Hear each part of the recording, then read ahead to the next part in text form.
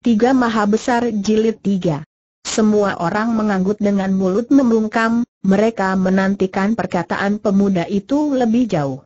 Dengan sorot mata yang tajam, Hoa Tian Hang menyapu sekejap wajah para jaga, kemudian katanya lebih jauh, menurut pendapat Bo Ampuace, lebih baik sebelum kejadian kita tentukan lebih dahulu seseorang, Sebelum pertarungan masal berkobar kita tantang Tian Ik Chu lebih dahulu serta berusaha keras untuk menggetar putungkan pedang Puan Leong Teo Kia miliknya itu. Mendengar perkataan ini semua orang segera saling berpandangan dengan mulut membungkam, dalam hati mereka pun memikirkan siapakah orang yang cocok untuk maju pada babak pertama ini serta mengambil loper tugas tersebut. Tiba-tiba Chu Im Taisu berkata, Hoa Hujin, Pekerjaan itu merupakan suatu pekerjaan yang berat dan maha penting. Aku lihat terpaksa Hujin harus turun tangan sendiri. Hoa Hujin termenung beberapa saat lamanya, kemudian sambil menghela napas, ia gelengkan kepalanya berulang kali. Sejak permulaan sampai sekarang, aku orang Bun Xiao Ih tak pernah menggunakan senjata, kalau dikatakan untuk membereskan jiwa Tian Ik Chu memang gampang sekali, tapi untuk menggetarkan pedang mustikanya sampai kuntung pekerjaan ini terlalu sulit. Aneh benar teriak Tio Sam Koh dengan dahi berkerut, kalau memang untuk membereskan jiwa Tian Ik Chu gampang sekali, apa salahnya kalau sekali hantam kau bereskan saja bajingan-bajingan itu? Hoa Hujin tertawa getir. Sam Koh, Terus terang saja ku katakan bahwa tenaga pukulan yang kumiliki pada saat ini mungkin tak akan mampu ditahan oleh siapa pun juga di kolong langit dewasa ini bagus sekali. Kalau memang begitu kenapa engkau harus sungkan-sungkan lagi aaai? Sam Koh dengarkan dahulu perkataanku. Katakanlah aku nenek tua akan mendengarkan, Hoa Hujin menghela nafas panjang ujarnya, Tenaga pukulan yang kumiliki bagaikan air dalam gentong saja lebih banyak serangan yang dipergunakan makin berkurang. Tenaga pukulanku jumlah pukulan yang bisa ku pergunakan pun tertentu sekali. Jumlahnya lalu berapa banyak pukulan yang mampu kau lancarkan? Tanya Tio Sam dengan hati tercengang. Itu sih tidak menentu, tenaga pukulanku bisa digunakan dalam satu kali pukulan belaka dapat pula dipergunakan secara menghemat dan sampai beberapa puluh pukulan heeh, heeh, heeh, selamanya engkau memang paling suka memperhatikan segala macam keanehan seru Tio Sam sambil gelengkan kepalanya berulang kali. Ibu tiba-tiba Hoa Tian Hang berseru, bila tenaga pukulanmu telah habis dipergunakan maka bagaimanakah dengan kesehatan badanmu? Cu Im Tai Su menghela napas panjang, pikirnya, kebaktian bocah ini terhadap ibunya benar-benar tak dapat dibandingkan dengan orang lain. Tampak Hoa Hujin tersenyum, sambil memandang ke arah putra kesayangannya, ia berkata, semua harapan pada saat ini terletak di atas pundak kita, sudah sepantasnya kalau kita berusaha untuk menghindarkan diri dari pertanyaan itu, timbullah perasaan curiga dalam hati Hoa Tian Hong, tanyanya lebih jauh, bagaimana dengan luka lama yang ibu derita dan pukulan beracun itu? Engkau tak usah banyak bertanya tukas Hoa Hujin cepat. Setelah berhenti sebentar, tiba-tiba ujarnya lagi dengan suara lembut, aku pun tak akan mengelabungi dirimu, Luka racun yang kuderita akibat serangan tempo hari berhasil kusanding dengan tenaga dalamku, jikala tenaga murniku habis digunakan maka luka racun itu akan kambuh kembali Hoa Tian Hang jadi amat terperanjat. Bukankah pada waktu itu keadaan jadi payah sekali tiba-tiba ia temukan wajah ibunya diliputi perasaan tak senang hati, buru-buru ia tutup mulut tidak berbicara lagi. Hujin, ilmu pukulan apa sih yang kau pelajari? Kenapa gejalanya sama sekali bertolak belakang dalam keadaan pada umumnya? tanya Chu Im Taisu kemudian, Apakah engkau dapat memberi keterangan sehingga pinceng sekalipun dapat menambah pengetahuan ilmu telapak yang aku pelajari adalah peleburan antara ilmu telapak Tian Lui yang pukulan geledek dengan hekset yang ilmu pukulan malaikat hitam ilmu sesat aliran kiri bukanlah suatu kepandaian yang patut dibanggakan Cu Im Tai Su mengerutkan dahinya mendengar ucapan tersebut katanya. Sering kali aku dengar orang berkata bahwa ilmu Tian Lui yang ialah ilmu pukulan yang paling keras di kolong langit sebaliknya ilmu pukulan Hekset yang adalah Hoa Hujin menangkap tangannya dan tertawa. Ilmu pukulan Heksapci yang terdiri dari banyak ragamnya, sifat racun yang di gunung pun berbeda-beda, dan yang mengandalkan racun bangkai, racun ular, racun tumbuh-tumbuhan dan juga racun yang bersifat dingin. Meskipun begitu kebanyakan racun yang dipakai adalah racun yang ada dalam jagat, dengan dilatih secara tekun maka racun itu mencampur baur dengan angin pukulan, Siapa yang terhantam isi perutnya pasti luka keracunan, sebaliknya racun yang kugunakan adalah racun batu yang ada di daftar perut bumi setelah berhenti sebentar, sambil tertawa getir sambungnya lagi, racun ini ganas sekali, siapa yang terkena pasti mati. Harimau ganas mengandalkan air sungai, kalau dibicarakan benar-benar memalukan sekali tanpa sadar sorot mata semua orang dialihkan ke arah telapak tangannya yang putih mulus itu, tampaklah sekilas gumpalan hitam tercekat pada telapak tangannya, gumpalan hitam itu melompat-lompat seperti mau loncat keluar, membuat orang yang melihat jadi ngeri rasanya. Setelah suasana hening beberapa saat lamanya, tiba-tiba Chiong Lian Hek berkata kembali dengan suara lantang. Taisu, engkau gunakan senjata sekop menggantikan senjata Toya, setelah berlatih 10 tahun pasti sudah mendapatkan kemajuan yang pesat bukan bagaimana kalau tugas berat pada pertarungan babak pertama ini kubebankan kepadamu mendengar pertanyaan tersebut, Mula-mula Chu Im Taisu nampak agak tertegun kemudian dengan kepala tertunduk termenung beberapa saat lamanya. Seperminum teh kemudian dia angkat kepala dan menjura, Sejak kekalahan dalam pertemuan besar Pak Beng Hwee, Pin Cheng telah mengasingkan diri selama 10 tahun. Lamanya tanpa sehari pun berani angkat kepala, dalam pertemuan Kian Chiao Tai Hwee nanti, walaupun aku masih belum mampu untuk membebaskan jiwa Tian Chu, namun untuk mempertaruhkan jiwa guna menggetar putung pedang mustika milik imam tua itu, Pinceng yakin masih mampu untuk melakukannya luar biasa. Apakah engkau ingin melatih dirimu jadi Buddha dan selamanya tidak mati? Teriak Tio Sam Koh demi keadilan serta kebenaran. Pinceng tidak takut mengorbankan jiwa ragaku, cuma saja Tian Ik Chu adalah seorang ketua perkumpulan besar, lagi pula tuan rumah penyelenggaraan pertemuan besar Kian Chiao Tai Hue, sedangkan Pinceng bukan seorang jagoan yang kenamaan, berada di hadapan para jago dari seluruh jagat. Kendati pun Bin Cheng mengajukan tantangan untuk berduel, belum tentu Tian Ik Chu bersedia untuk melayaninya kau maki saja nenek moyang 18 turunannya, masa dia tetap tidak akan ambil peduli seru Tio Sam Koh dengan gusar.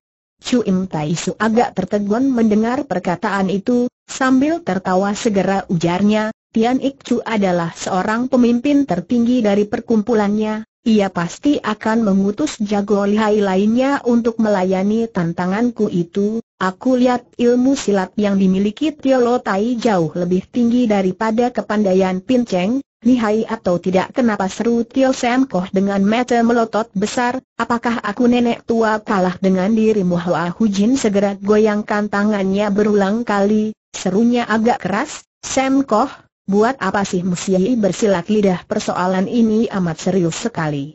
Tian Chu sebagai tuan rumah bagi diselenggaranya pertemuan besar Kian Chiao Tai Hue, sebelum mencapai babak terakhir tak mungkin ia bersedia untuk turun tangan sendiri, kalau memang begitu, apa itu pedang emas pedang perak, bukankah kita sudah bicarakan persoalan itu dengan percuma saja? Teriak Tio Sam Koh kembali.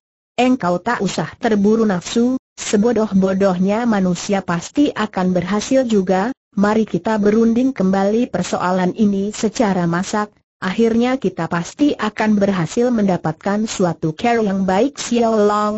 Mampukah engkau menangkan Tong Tian? Kau Chu tiba-tiba Li Hoa Sian Chu bertanya. Aku sama sekali tak becus jawab Hoa Tian Hang dengan wajah agak jengah, bicara yang sesungguhnya aku masih bukan tandingan dari Tian Ik Chu, Ni Hoa Siam Chu segera menghela napas panjang, ujarnya, Tian Ik Chu adalah salah seorang di antara musuh-musuh besar pembunuh ayahmu, jikalau engkau menggunakan dalih hendak menuntut balas bagi kematian ayahmu, Berada di hadapan umum mungkin saja Tian Ikcu terpaksa harus munculkan diri untuk melayani dirimu, lagi pula engkau masih muda dan merupakan angkatan yang lebih muda, siapa tahu kalau Tian Ikcu merasa yakin dapat menangkan dirimu dan segera turun tangan melayani tantanganmu itu, perkataan Ji Suci sedikit pun tidak salah sahut Hoa Tian Hong. Sambil menggertak gigi, ujarnya kembali, Sebenarnya aku ingin sekali mengatakan imam siluman itu untuk berduel satu lawan satu, aku hanya khawatir kekalahanku bakal mempengaruhi semua keadaan Tio Sam Koh yang semakin berpikir semakin kesal, tiba-tiba loncat bangun dari atas tanah dan berteriak sambil menghantamkan tongkat besinya ke atas tanah, Perahu yang tiba di ujung jembatan tentu akan lurus sendiri. Siapa kalau berani bicara tidak keruan lagi, jangan salahkan kalau aku nenek tua segera akan memberi hadiah satu pukulan yang keras oh, oh, oh, oh, oh 44 perkataan dari Tiolo Tai tidak salah serut Cuan pula dengan suara keras. Daripada duduk sambil berbicara lebih baik kita gunakan kesempatan ini untuk berlatih ilmu silatnya sendiri-sendiri, pada saat itu Fajar telah menyingsing di ufuk sebelah timur, di atas bukit tampaklah jago-jago dari kalangan lurus itu sedang melatih ilmu silatnya masing-masing dengan tekun dan rajin. Hoa Hujain duduk di atas batu gunung sambil menyaksikan putranya berlatih ilmu pedang, Hoa Tian Hang sendiri dengan gerak naga langkah harimau memainkan pedang bajanya dengan penuh bersemangat. Di bawah sinar matahari tampaklah cahaya tajam memancar keempat penjuru menyilaukan mata orang, angin pedang menderu-deru amat memekikan telinga. Liho Asian Chu maju mendekati, lalu berkata sambil tertawa, sewaktu masih berada di selat Bu Hiang Kok tahun berselang, ilmu silat yang dimiliki Xiao Long masih belum dapat menangkan diriku, tapi sekarang agaknya 50 gebrakan pun aku sudah tak mampu untuk melayani dirinya, Tiga dewi dari wilayah Biau adalah tamu terhormat. Hoa Hujan tak berani bersikap ayal, segera ia tersenyum sambil menjawab, Nona memiliki kepandaian ahli di bidang lain, tentu saja kemajuan yang diperoleh dalam bidang ilmu silat agak lambat Ciwi Sian Chu pun berjalan mendekat, lalu menimbrung dari samping, Hujin, ilmu pedang Xiao Long meskipun hanya terdiri dari 16 jurus belaka akan tetapi setiap kali tampaklah muncul gerakan. Gerakan baru yang serba aneh dan belum pernah terlihat sebelumnya, setelah kuamati dengan lebih seksama terasa olehku bahwasanya ke-16 jurus ilmu pedang itu merupakan serangkaian garis besar dari suatu kepandaian belaka, sedangkan isinya sebenarnya amat luas dan memiliki perubahan yang tak terhitung banyaknya. Hoa Hujin menghela napas panjang katanya, rangkaian ilmu pedang itu sebenarnya merupakan hasil ciptaan dari mediang ayahku, sayang sekali waktu berlatih terlalu singkat sehingga Senji tak mampu untuk melatih intisari yang sebenarnya di tengah pembicaraan, Hoa Tian Hang telah selesai memainkan jurus pedangnya, baru saja tarik kembali senjatanya untuk minta petunjuk pada ibunya, tiba. Tiba terdengar Ciong Liang Kek membentak keras, Tian Hong, lihat pedang Hoa Tian Hang tertegun, bayangan manusia berkelebat dan cahaya tajam pun tahu-tahu sudah muncul di depan mata. Membuat si anak muda itu terpaksa harus cepat-cepat menggerakkan pedangnya untuk menyambut datangnya serangan tersebut. Lihat pedang, lihat pedang bentak Ciong Liang Kek berulang kali. Di tengah bentakan keras pedangnya laksana sambaran dan ledakan guntur berkilauan memenuhi angkasa, serangan-serangan gencar yang dilancarkan semuanya ditujukan ke arah jalan darah penting di seluruh badan Hoa Tian Hong. Dalam keadaan begitu, terpaksa pemberiah si Hoa itu harus putar pedangnya untuk menyambut serangan musuh namun lama-kelamaan ia merasa kepayahan, segera pikirnya, Lo Chiam Pue turun tangan begini gencar, Aku mana sanggup untuk melayaninya? Ayolah menyerang secara benar-benar. Tiba-tiba Aciong Lian Hek membentak dengan penuh kegusaran.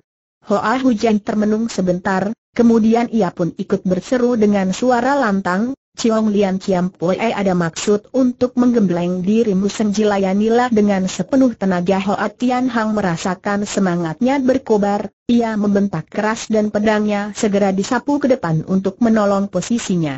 Bukankah engkau berhasrat untuk menggetarkan pedang pusaka Poan Leong Teo Okian milik Tian Ik Chu sewaktu diselenggarakannya pertemuan besar Hian Chiao Tai Hwee?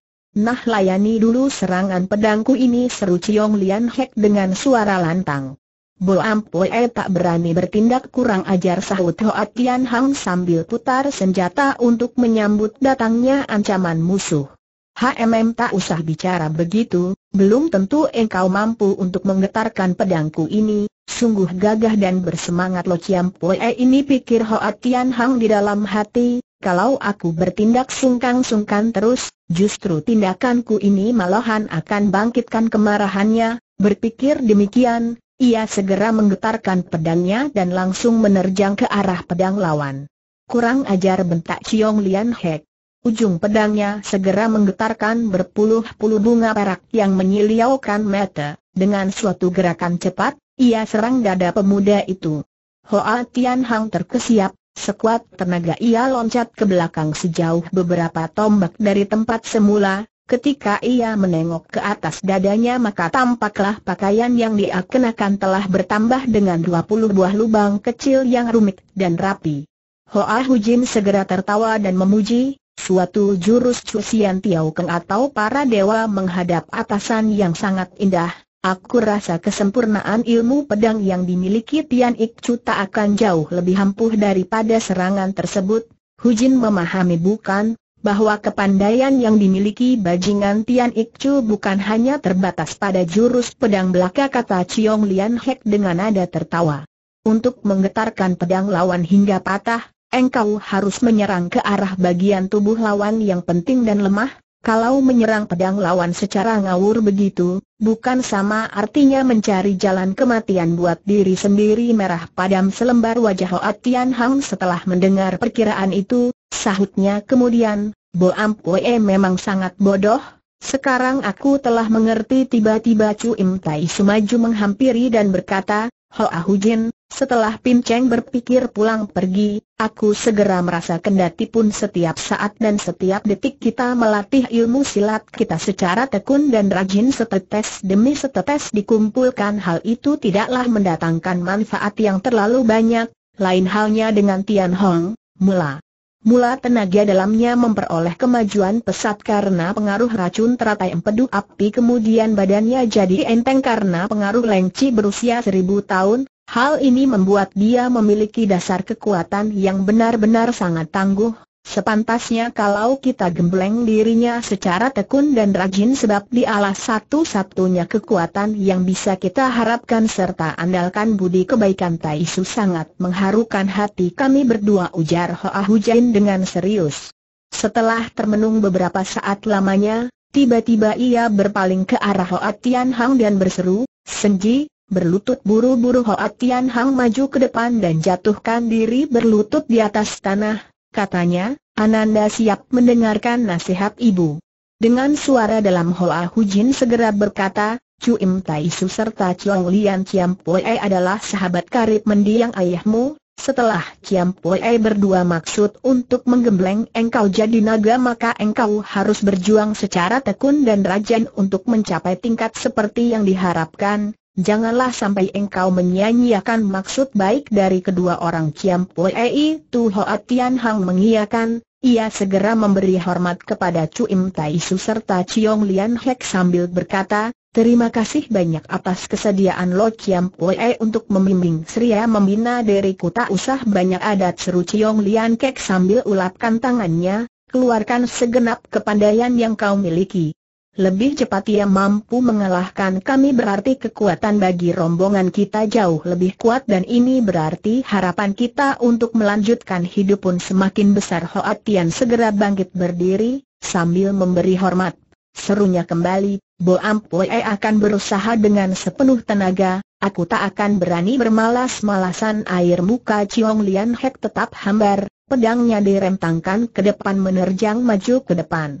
Buru-buru Hoa Tian Hang putar pedang menyambut datangnya serangan, seluruh perhatiannya dicurahkan jadi satu untuk menghadapi pertempuran itu, sedikit pun ia tak berani berayal.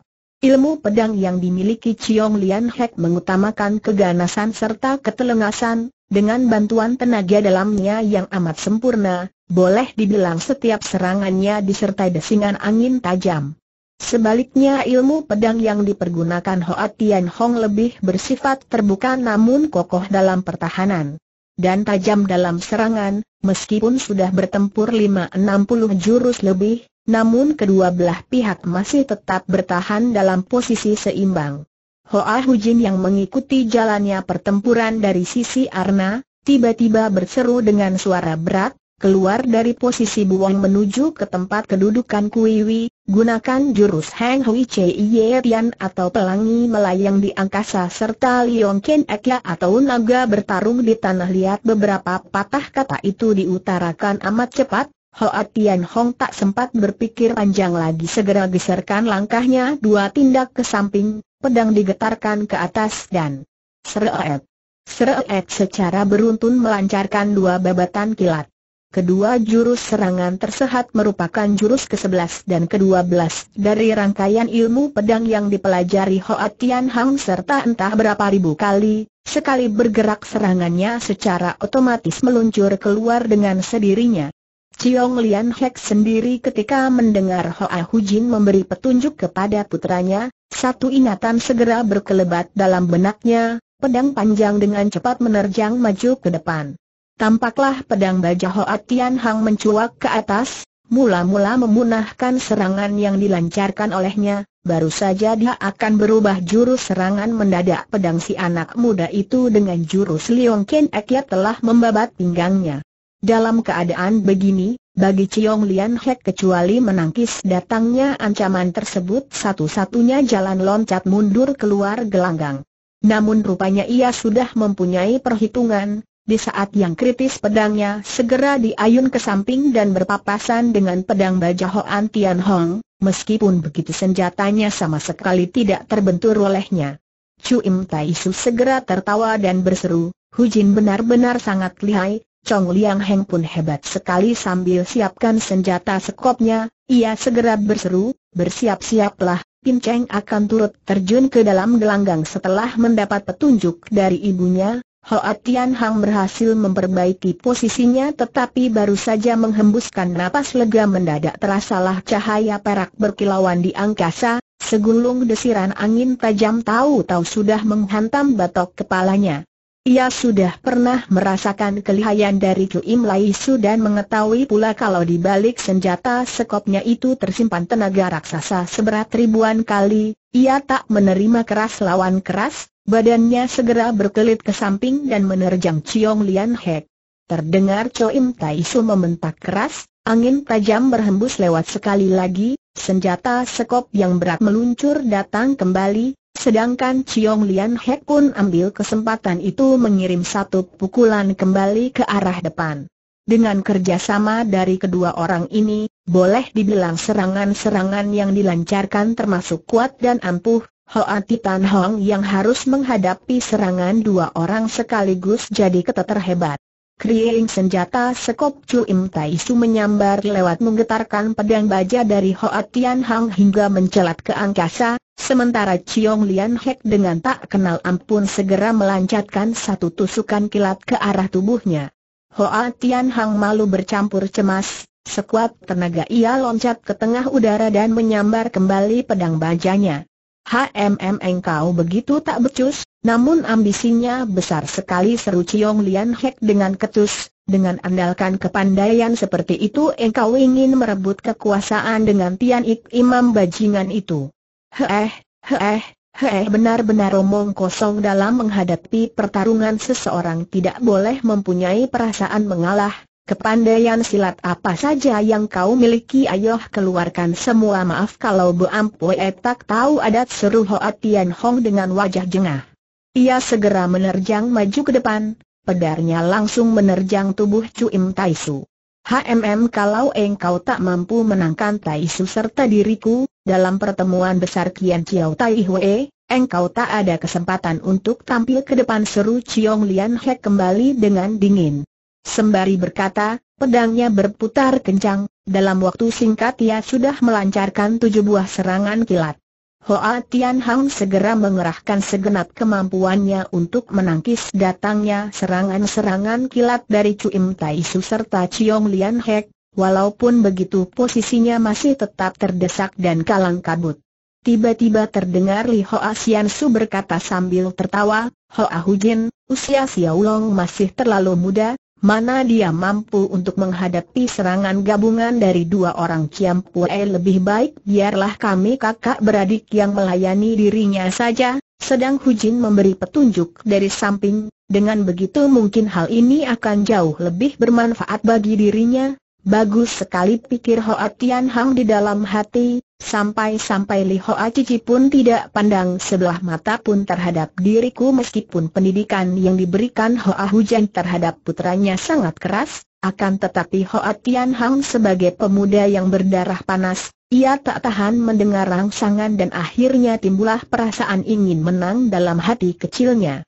Tanpa sadar pula semangat bertempur pun semakin meningkat, tidak menggubris apa yang diucapkan oleh Hoa Hujin lagi, ia segera membentak keras berulang kali dan pedang bajanya melancarkan serangan balasan dengan sepenuh tenaga. Dalam sekejap mata, cahaya tajam membumbung tinggi di angkasa, dari posisi bertahan ia berubah jadi posisi menyerang. Sekalipun begitu, namun sayang sekali dalam beberapa saat kemudian ia sudah terdesak kembali oleh serangan-serangan gabungan sekop dan pedang itu hingga terdesak di atas tanah.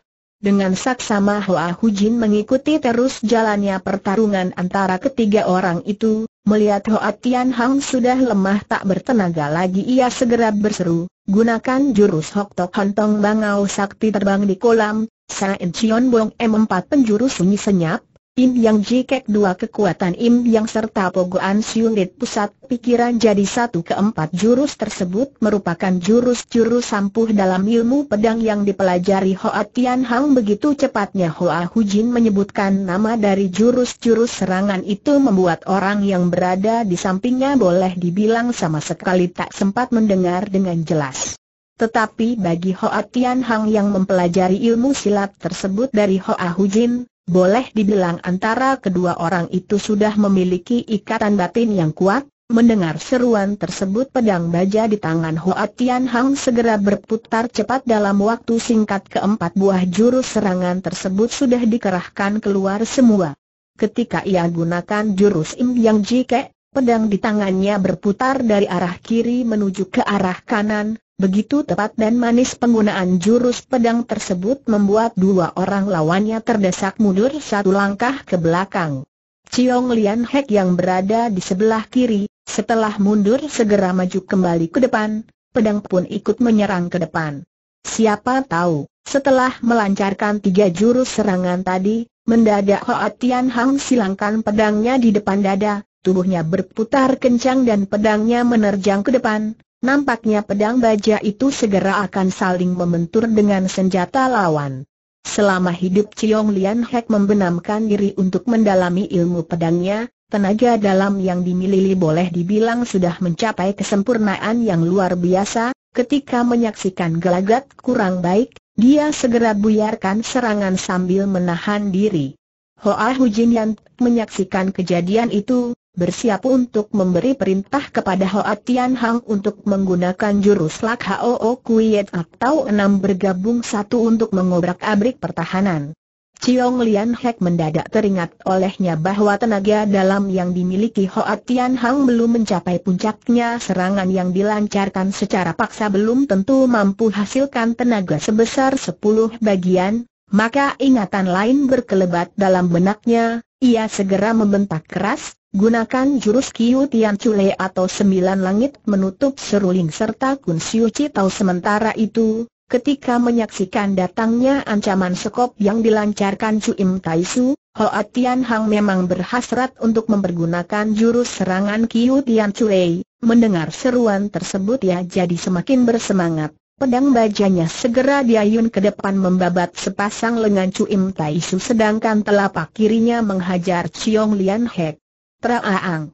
Pedang baja saling membentur dengan senjata sekop hingga menimbulkan suara dentingan yang amat nyaring, tubuh Cuim Tai Su terbendung ke belakang sebaliknya.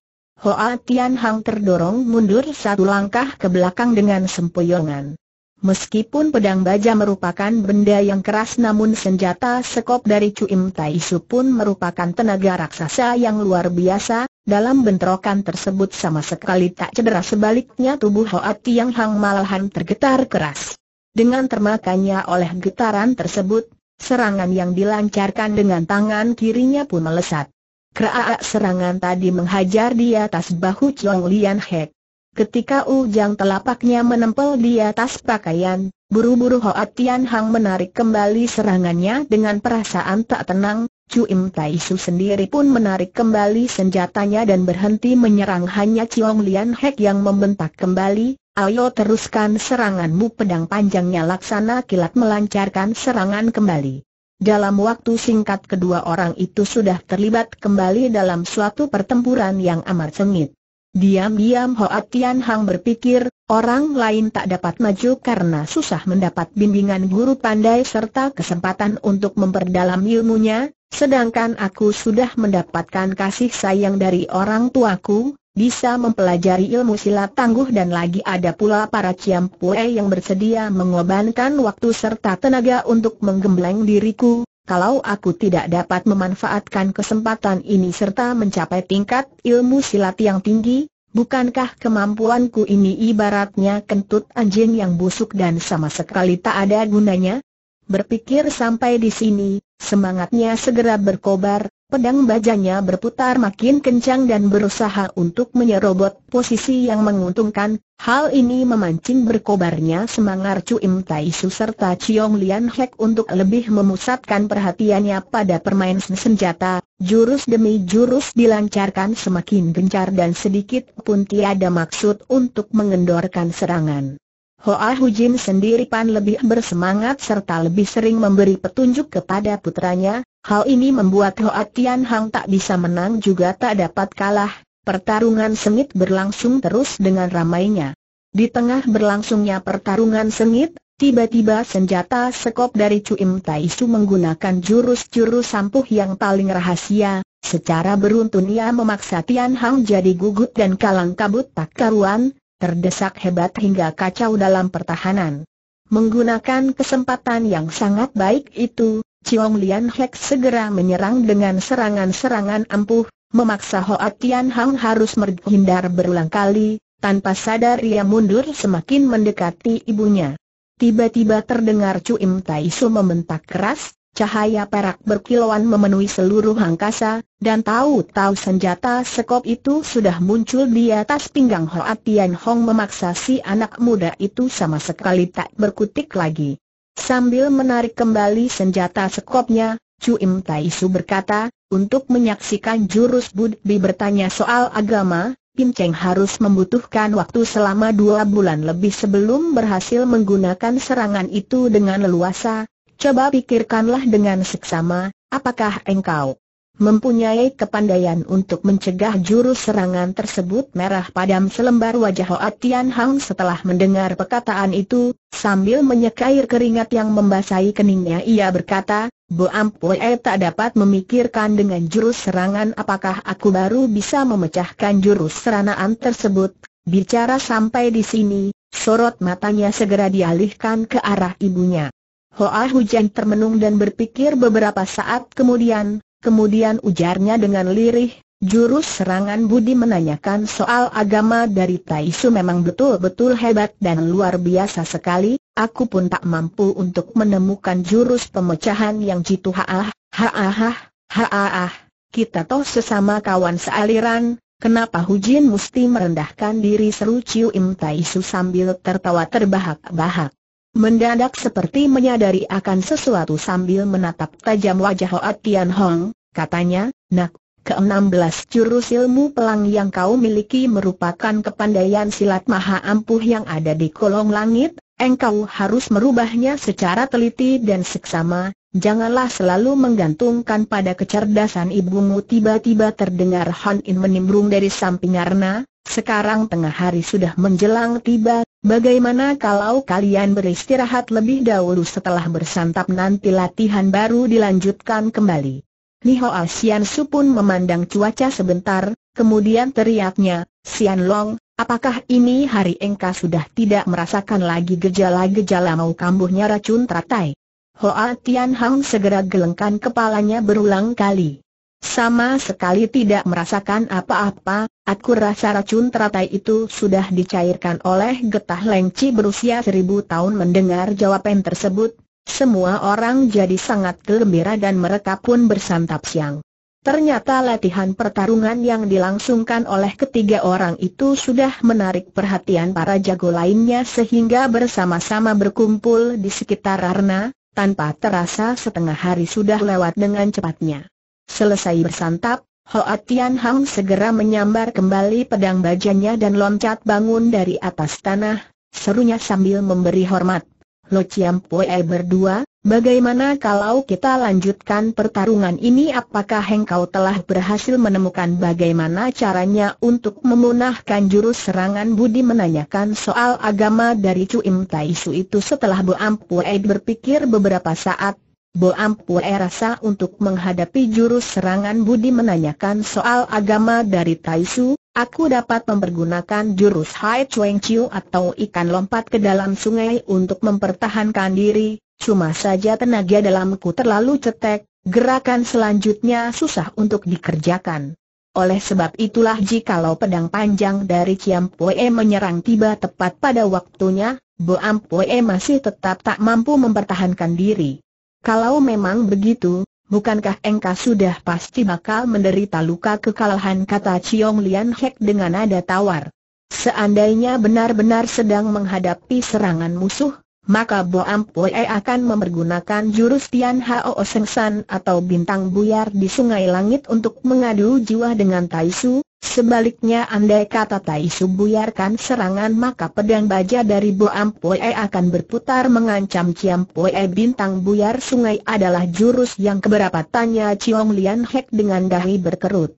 Jurus terakhir dalam ilmu pedangku jawab Hoa Tian Hong, setelah berhenti sebentar sambungnya lebih jauh, cuma saja, berada di hadapan Taisu serta Ciam Pue yang berkepandaian tinggi, dalam keadaan tenaga dalam tak cukup tentu saja sukar untuk mewujudkan harapanku itu rasa sedih melintas di atas wajah Chiong Lian Hek, keluhnya, bicara pulang pergi yang paling penting adalah tenaga dalammu tidak mencukupi, AAI 100 hari berlatih golok, 1000 hari berlatih pedang, sebenarnya hanya suatu pekerjaan yang terlalu dipaksakan, Bo Ampue akan berlatih dengan tekun engkau tidak lelah tidak, Bo Ampue sama sekali tidak merasa lelah, jawab Hoa Tian Hang sambil gelengkan kepalanya.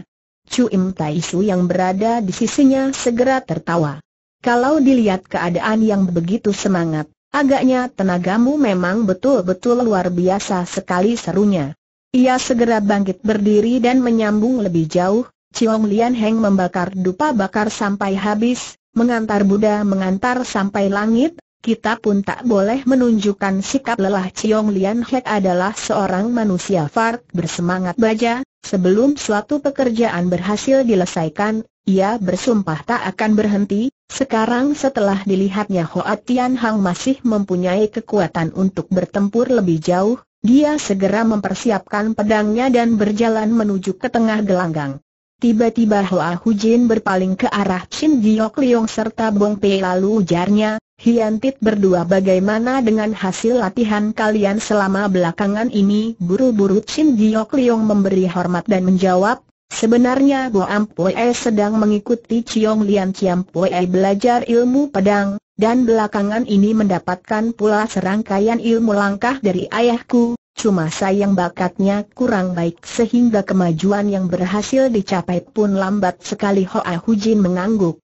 Dalam soal ilmu silat, memang tak dapat menghiasi dalam satu dua hari belaka, meskipun aku mempunyai hasrat untuk membimbing dirimu, sayang sekali aliran ilmu silat yang kita ahut sama sekali berbeda, sekalipun kuwariskan kepada Hiantik juga sama sekali tak ada manfaatnya Bibi demikian memperhatikan Bo Ampue, membuat Hiantik merasa amat berterima kasih sekali. Hoa Hujin menghela napas panjang, serunya kemudian, Bagaimana dengan Bong Hian Tit Bo Ampue tetap mempelajari ilmu pukulan pek Klek Chiang warisan dari mendiang guruku. Guruku adalah seorang pendekar besar yang namanya amat tersohor di kolong langit kata Hoa Hujin sambil manggut. Asalkan engkau dapat meneruskan cita-cita gurumu serta menegakkan terus garis hidup yang telah diterapkan oleh mendiang gurumu, bila mana suka gurumu di alam baka mengetahui akan hal ini, dia pasti akan merasa amat gembira sekali, setelah berhenti sebentar, sambungnya lebih jauh, Dewa yang suka melancong dengan mendiang gurumu adalah sahabat yang sangat akrab, ia sangat mengharapkan akan kesuksesanmu dalam mewujudkan cita. Cita mendiang gurumu, karena itu separuh dari jilid kitab ilmu silat telah ia serahkan kepadaku dengan harapan aku bisa mewariskannya kepadamu kalau berhasrat untuk maju, sekarang juga akan kuwariskan kepandaian itu padamu. Bong Pia tertegun mendengar perkataan itu, dia melirik sekejap ke arah Hoa Tian Hang kemudian jawabnya dengan kepala tertunduk, kepandian silat yang Bo Ampoe miliki sangat cetek, setiap kali bertempur pasti kalah, Jikalau Bibi bersedia untuk memberi pelajaran tentu saja Bo Ampoe pun bersedia untuk mempelajarinya Hoa Hujin menghela napas panjang, katanya, kami semua adalah bekas panglima perang yang kalah tempur di tangan musuh namun tetap semangat. Maka suatu saat semua sakit hati dan dendam kesumat akan berhasil kita tuntut balas. Bong Pei segera mengangguk. Asalkan Bo Ampue dapat membalaskan dendam bagi kematian guruku, perbuatan macam apa pun aku bersedia untuk melakukannya mendengar ucapan itu, Hoa Hujan pun berpikir dalam hati kecilnya, meskipun orang ini kasar dan berangasan namun dia adalah seorang manusia yang berperasaan, ia segera bangkit berdiri dan membawa Bong Pei menuju ke puncak bukit di mana ilmu sakti Chuyeu Jitsiat segera diwariskan padanya. Siapa sangka, si salahkar golongan lurus yang berjumlah kecil ini benar-benar berhasrat sekali untuk menggunakan kekuatan mereka yang kecil untuk menumbangkan tiga kekuatan besar yang ada di kolong langit dewasa itu. Setiap orang berlatih diri dengan tekun dan semua orang mengharap kemajuan yang pesat dalam kepandaian silatnya masing-masing.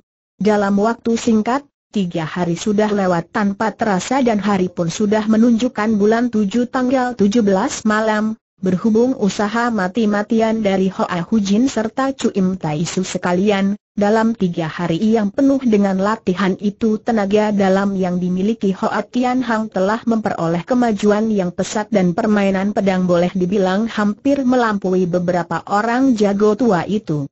Sekarang ia mampu bertempur melawan Chu Im Tai Su serta Chiong Lian Hek sebanyak ribuan gebrakan tanpa kalah, cuma saja kedua orang tokoh silat itu pun sudah memahami ilmu pedangnya maka pemuda itu sendiri pun tak mampu untuk merebut kemenangan. Tio Sam Koh serta Hoa Ing segera ikut menerjunkan diri pula ke dalam arna untuk bertarung melawan Hoa Tian Hong, namun pertempuran selama setengah harian akhirnya tetap seri. Ada kalanya empat orang jago itu turun tangan bersama-sama untuk mengerubuti pemuda itu selama setengah harian lamanya membuat pemuda itu kehabisan tenaga dan lelah, namun posisi masing-masing tetap dipertahankan dalam keadaan seimbang. Keempat orang jago itu bagaikan sebuah tungku api yang menggembleng serta menempa tubuh Hoa Tian Hang dengan ketatnya, Latihan demi latihan yang berat serta melelahkan membuat langsung berhasil dicapai benar-benar menakjubkan. Sayang waktunya tidak terlalu banyak lagi sebab waktu sudah menunjukkan tanggal 13 malam, besok malam adalah saat diselenggarakannya pertemuan besar itu. Selesai bersantap malam, sambil membawa pedangnya, Hoa Tian Hang segera memberi hormat kepada Chu Im Tai Su sekalian sambil ujarnya, Besok kita harus memelihara tenaga secara baik-baik dan beristirahat semalam suntuk, menggunakan kesempatan yang terakhir pada malam ini, harap para ciampoe sekalian suka bersusah payah lagi, Aaai apa itu soal susah payah asal engkau mampu untuk meningkat lebih tinggi setaraf, aku rasa Tian Ik Chu pun tidak akan mampu untuk menahan pedang bajamu kata Chu Im Tai Su dengan cepat. Ciong Lian Hek, Tio Sam Koh maupun Hoa In sama-sama membungkam dalam seribu bahasa, Chu Im Tai Su serta Hoa Tian Hong, lima orang mereka bersama-sama menuju ke atas bukit. Sementara kemudian, Shen Pek Chuan pun membawa Chin Giok Liong berlalu dari situ. Sedang Bong Pei seorang diri menuju ke atas puncak bukit. Pertemuan besar Kian Cian Tai Hwee sudah kian lama kian semakin dekat, perasaan hati semua orang pun tersadar bertambah tegang, gelak tertawa sudah jarang kedengaran lagi.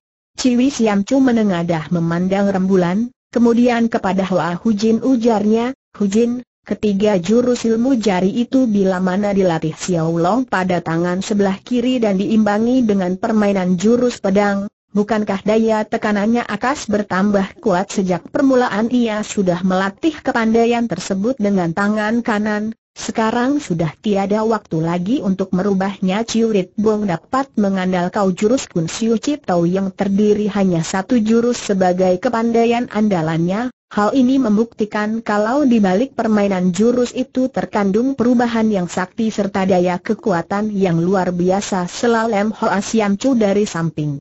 Tetapi berhubung ilmu pedang serta telapak dari Xiao Long belum berhasil mencapai pada puncaknya maka ia susah untuk menggabungkan permainan kedua macam kepandaian itu menjadi satu, seandainya ilmu itu sudah mencapai puncak kesempurnaan dan bisa dipergunakan menurut kehendak hati, Aku rasa kalau dibandingkan dengan kekuatan ilmu jari Cie Ujit Ciat pun akan jauh lebih tangguh lagi perkataan Nona sedikit pun tidak salah sahut Hoa Hujin sambil mengangguk, tombak panjang golok pendek, itu bukan berarti golok tak dapat menangkan tombak, melainkan kesempurnaan dalam kepandaian silatlah yang lebih diutamakan. Lam Hoa Sian Ju tersenyum, setelah berhenti sebentar katanya lagi, Hujin, lebih baik engkau mengurusi tentang dari Sian Long saja, biarlah kami beberapa orang yang berjaga-jaga di jembatan batu ini, dan aku rasa tak mungkin akan terjadi suatu kesalahan, andai kata terjadi peristiwa yang tidak diinginkan biarlah kami akan suruh Tiong Hao untuk memberi laporan kepada Nyonya.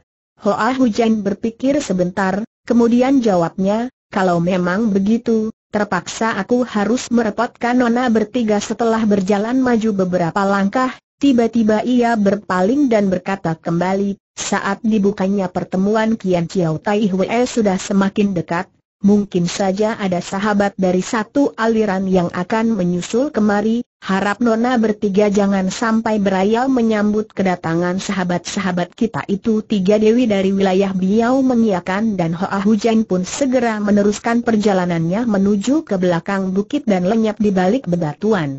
Li Hoa Siam Chu memandang sekejap ke arah Chen Wan Hong, lalu sambil mengerdipkan matanya ia tertawa dan berkata, Hang Ji, Bukanlah engkau ingin melihat Xiao Long? Kenapa tidak ikut serta bersama-sama Hujin siapa sih yang mengatakan kalau aku hendak melihat Xiao Long? Dia sedang berlatih ilmu silat, aku tak ingin mengganggu ketenangannya selama latihan jawab Chin Wan Hang sambil tertawa. Hang Ji seru Ciwi Siam Cu pula sambil tertawa, aku lihat sesudah tak berjumpa selama satu tahun, sikap Xiao Long terhadap dirimu sudah tidak menyerupai keadaannya pada tempo dulu, Coba lihatlah selama beberapa hari ini, dia sama sekali tak mengucapkan sepatah kata pun terhadap dirimu. Chin Wan Hang tertawa, jawabnya, pertemuan besar Kian Chiao Tai Hwee sudah hampir tiba, perasaan hatinya sedang berat, murung dan lagi pula sibuk berlatih ilmu silat, mana dia punya waktu untuk bercakap-cakap dengan aku setelah berhenti sebentar, tiba-tiba ujarnya lagi dengan nada sedih, Selama ini dia selalu memikirkan tentang dendam kematian ayahnya, cuma perasaan tersebut selamanya tak pernah diutarakan keluar. Dalam penemuan Kian Chiao Tai Hwee nanti dia bakal bertemu dengan musuh besarnya. Pertarungan sengit pun tak mungkin bisa dihindari lagi dengan kesumat atas kematian ayahnya adalah suatu dendam yang dalamnya melebihi samudra. Kenapa ia tak berani mengutarakannya keluar kata Ciwi Xuan. Hujin melarang dirinya untuk mengatakan soal dendam karena takut melemahkan semangat persatuan di antara para pendekar serta melemahkan daya pikiran setiap orang dalam menghadapi masalah besar ini. Kenapa Suci? Coba bayangkan seadanya yang dipikirkan terus olehnya hanyalah membalas dendam, Manusia-manusia gagah seperti Cu Im Taisu sekalian yang sama sekali tidak mengutamakan soal dendam pribadi bukankah bakal putus asa dan seandainya sampai terjadi keadaan seperti ini bukankah akan mematahkan semangat tempur mereka sendiri? Oh, oh, oh rupanya terdapat juga masalah yang demikian peliknya seru Ciwi Su sambil tertawa, yang akan kita bantu hanyalah Xiao Long seorang diri peduli amat siapa lurus siapa sesat mau bertempur kita turun tangan dan mau bunuh kita. Bunuh saja bukankah lebih beres? Tiba-tiba Li Hoa Sian Chu tertawa dan berkata, Hang Ji, engkau mengatakan bahwa Xiao Long selalu memikirkan tentang dendam kematian ayahnya, apakah secara diam-diam ia beritahukan kepadamu? Chin Wan Hang segera menggeleng. Dia adalah seorang anak yang berbakti, setelah ibunya melarang dia untuk berbuat demikian maka sekalipun hanya mencuri untuk berpikir pun, tak akan berani apalagi mengutarakannya keluar, cuma saja, ia bisa berbakti terhadap ibunya masa tidak berbakti terhadap ayahnya dan masa ia dapat melupakan soal kematian ayahnya. Li Hoa Siam Chu mengangguk tanda membenarkan, tiba-tiba ia berpaling dan serunya, Tong Long, engkau mengatakan bagaimana hubungan antara Xiao Long dengan Giok Teng Hujan dari sekte agama Tong Tian Kau oh, oh, oh. Aku hanya secara kebetulan saja mendengar percakapan antara dua orang imam cilik ketika masih berada di dalam kulit Goan Hoan tempo hari, kata harimau bisu Tonglong. Apa yang dia katakan harimau bisu Tonglong itu agak tertegun sebentar, kemudian jawabnya, kedua orang imam cilik itu membicarakan tentang bagaimanakah hubungan yang intim antara Hoa Kong Chu dengan Giok Teng Hujin, Kemudian membicarakan pula bagaimana Tong Tian Kau Chu cemburu sebenarnya bagaimana sih yang tepatnya tanya Li Hoa Sian Chu dengan wajah cemberut. Aku sendiri pun kurang begitu jelas sesudah berhenti sebentar, sambungnya lebih jauh, kedua orang imam cilik itu tidak membicarakan sampai jelas, tentu saja aku sendiri pun kurang begitu jelas, persoalan ini toh menyangkut tentang Nona Hong, Masa engkau tidak bisa menanyai mereka seruli Hoa Sian Chu dengan marah? Sin Wan Hang yang berada di sampingnya segera menimbrung, pada saat itu dia adalah seorang tawanan, sedangkan kedua orang imam cilik itu pun membicarakannya secara diam-diam, Jisi Chu coba engkau suruh dia bagaimana caranya untuk mengajukan pertanyaan tersebut, Padahal tak usah ditanyakan lagi pula urusan sudah sangat jelas kata Lem Hoa Siam Chu dengan cepat, perempuan itu toh bersedia menghadiahkan lenci berusia seribu tahun kepada Xiao Long, apa yang harus dibicarakan lagi? Tiba-tiba terdengar harimau empong Tiong Lo Peo Chu berkata, perempuan itu benar-benar ibarat pungguk merindukan bulan, Hoa Saoya masih muda dan gampang terpengaruh oleh nafsu birahi, tentu saja ia gampang mempengaruhi Saoya kita. HMMM. Sian Chu, dalam pertemuan besar Kian Chiao Tai Hwee besok pagi engkau harus mengeluarkan sedikit kepandaian dan racuni perempuan itu sampai mampus. Dalam pandangan tiga harimau dari keluarga Tiong, Hoa Tian Hang serta Chin Wan Hang adalah pasangan yang paling ideal dan lagi kedua-duanya merupakan majikan mereka tentu saja dalam pandangan ketiga orang itu mereka tak rela membiarkan orang ketiga turut campur dalam hubungan tersebut Sekalipun Hoa Tian Hang serta Chin Wan Hang bersedia, tiga harimau dari keluarga Tiong tetap tidak setuju. Chin Mi Siam Chu yang mendengar perkataan itu segera menimbrung, Toa Suci, ide ini sangat bagus sekali. Hang Ji jadi orang terlalu jujur dan lagi tak bersedia melatih ilmu silat bukan saja sekarang tidak merasa iri atau cemburu sebaliknya malah dipermainkan oleh perempuan lain, Aku rasa untuk berjaga terhadap segala kemungkinan yang tidak diinginkan lebih baik kita cepat-cepat bikin mampus perempuan itu lebih dahulu suci bertiga, janganlah bikin huru hara yang sama sekali tak ada artinya serut Chin Wan Hang dengan gelisah, Giok Teng Hujin adalah putri kesayangan dari Siang Teng Lei dan lagi kita pun sedang menghadap musuh yang amat tangguh, bikin huru hara apa omel Ciwi Sian Su, budak yang tak berguna. Pembaringan yang hanya muat ditiduri dua orang masa kau biarkan orang lain untuk menidurinya. Kami bersusah payah untuk membantu engkau malah bicara seenaknya, benar-benar bodoh dari suku Biao paling tebal rasa cemburunya, Sering mereka lepaskan racun jahat untuk mempengaruhi perasaan kekasihnya, apabila ada musuh dalam cinta mereka pun tak segan-segan untuk turun tangan kejam guna menyingkirkan saingannya itu, sering kali apa yang dibicarakan dilakukan dengan segera, karena itulah sesudah mereka mengancam akan bikin mati Giok Teng Hujan maka ancaman itu pasti akan dilakukannya pada suatu ketika. Sebaliknya Chin Wan Hang adalah seorang gadis yang berbudi luhur serta memahami keadaan situasi, dan lagi dia pun jerih sekali terhadap wibawa dari Hoa Hujin, karena itulah meskipun perbuatan dari ketiga orang sucinya itu adalah demi kebaikan dirinya, namun Seng Hati merasa ngeri dan khawatir 45 dalam pada itu, dari tepi pantai seberang berkelebat datang sesosok bayangan manusia yang ramping, Disorot sinar rembulan tampaklah gerakan tubuh orang itu cepat bagaikan kilat dan tergesa-gesa sekali, dalam beberapa kali lompatan ia sudah berada di belakang batu peringatan tersebut. Tatkala tiba di depan batu peringatan itu, bayangan manusia yang ramping tadi nampak tertegun dan segera membaca tulisan yang tertera di sana.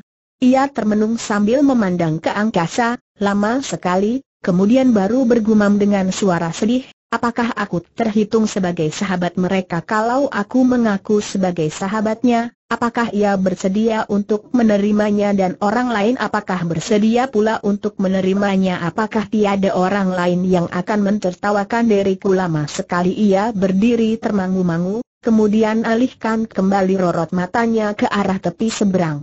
Di bawah sorot rembulan, Secara lapat-lapat ia temukan pula ada beberapa orang sedang duduk di atas bukit, dan orang-orang itu bukan lain adalah sekawanan perempuan.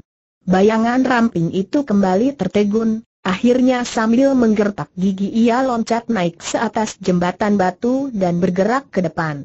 Tiga dewi dari wilayah Biau sekalian yang berada di atas bukit pun sudah mengetahui kalau di tepi seberang telah kedatangan seseorang, hanya saja berhubung jaraknya masih jauh dan lagi membelakangi cahaya rembulan maka raut wajahnya tidak terlibat jelas.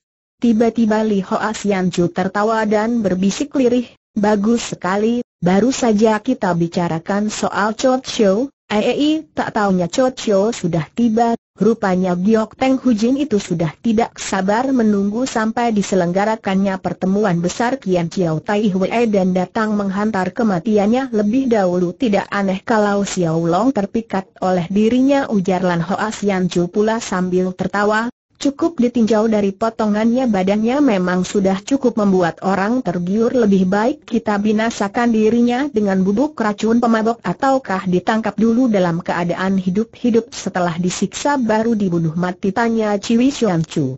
Kalau berbuat begitu rasanya kurang baik tungkas harimau empong Tiong Lopocu secara tiba-tiba, perempuan ini adalah putrinya Xiong Teng Lei dan lagi telah meluaskan budi terhadap sauya kita, Seandainya kita hukum mati setelah berhasil menangkapnya hidup-hidup bila Hoa Hujin akan mengetahui peristiwa ini, lain kali dia akan menyalahkan kita. Sedang Hoa Sauya yang sudah tergila-gila oleh kecantikannya, HMM bicara tanpa bukti tukas harimau pelarian Toang Lian dengan cepat, dengan alasan apa engkau mengatakan kalau Xiao Kuan Jin telah tergila-gila oleh kecantikannya peduli bagaimanapun, Kaum pria memang suka sekali mengganti yang baru dan bosan terhadap yang lama, kata harimau empong Tiong Lopocu dengan perasaan tak puas, dari julukan yang dipergunakan perempuan itu sudah dapat diketahui kalau dia bukan manusia baik-baik, lebih baik kita pura-pura tidak tahu saja, agar ia tercebur ke dalam jurang dan mati dengan badan hancur. Care berpikir Lopopo memang jauh lebih tepat serulan Hoasi Ancu kemudian sambil tertawa. Kematian manusia bagaikan padamnya lampu, sekali puas Xiao Long merasa bersedih itu pun hanya bersifat sementara untuk kemudian akan melupakan untuk selamanya, dan asal kita tidak turun tangan maka Hoa Hujin pun tak dapat menyalahkan kita sementara pembicaraan masih berlangsung, gadis yang tinggi semampai dan amat ramping itu sudah melewati batu peringatan dan meluncur ke tengah jembatan. Li Hoa Sian Chu segera tertawa dan berkata lagi, Coba kalian lihat gerak-geriknya yang tersipu-sipu dan diliputi rasa malu, bukan saja tak mau sebutkan nama bahkan menganggap dirinya sebagai kekasih Xiao Long, dengan langkah lebar ia berjalan ke depan tanpa perasaan takut. Barang sedikit pun juga berbicara sampai di situ, perempuan tadi sudah tiba pada lapisan batu pertama di mana Ciwi Siam Chu melepaskan racunnya pada pos pertahanan yang pertama. Berhubung semakin dekatnya dengan hari diadakannya pertemuan besar, penjagaan di atas jembatan batu itu sudah diperbaharui, dan tiga dewi dari wilayah Biao pun belum lama berselang menaburkan kembali bubuk racunnya, baru saja ujung kaki perempuan itu menginjak di atas lapisan batu yang pertama, lubang hidungnya telah mencium bau racun pemabok yang lihai dari perguruan Kiu Tok Sian Chi tersebut. Meskipun obat pemabok itu tidak lebih lihai dari Mihun San yang berada pada pos pertahanan kedua, akan tetapi perempuan itu sudah tak tahan, tubuhnya gontai dan hampir saja roboh ke dalam jurang. Menyaksikan kejadian itu Chin Wan Hang segera menjerit kaget, ketika terbayang kembali oleh jeritan ngeri yang pernah didengarnya beberapa hari berselang, ia tak tega dan buru-buru serunya, Suci bertiga, mari kita ke sana dan memeriksa keadaannya. Setelah menanyakan maksud tujuannya lebih baik kita usir dirinya pergi saja budak bodoh. Apa yang perlu kita tanyakan lagi apakah engkau bersedia untuk angkat saudara dengan dirinya serta menjadi istri seorang suami yang sama Chin Wan Hang terbungkam dan menunduk.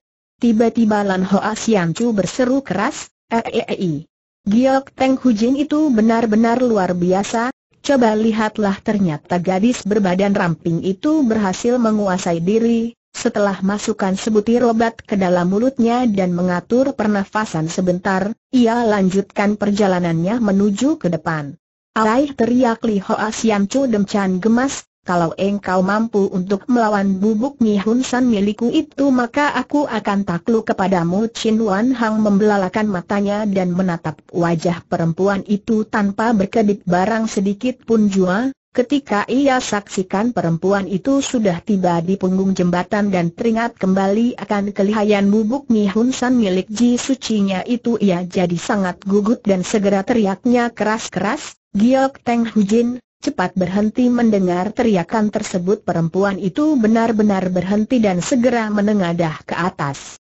Ni Hoa Siam Chu jadi gemas, sambil menuding Dai Chen Wan Hong serunya dengan nada getun, budak bodoh, rupanya engkau lebih suka mencari penyakit buat diri sendiri. Sedangkan Lam Hoa Siam Chu sambil tertawa cekikikan segera menggandeng tangan Chin Wan Hong saya berkata, ayo jalan, Mari kita saksikan sampai di manakah kecantikan wajah dari hujan ini, mari kita ke sana bersama-sama, semua orang segera loncat turun dari atas bukit dan menuju ke tepi jembatan itu.